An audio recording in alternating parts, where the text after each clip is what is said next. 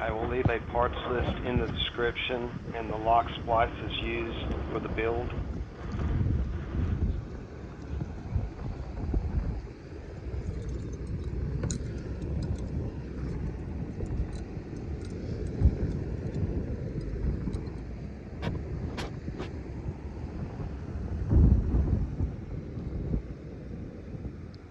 You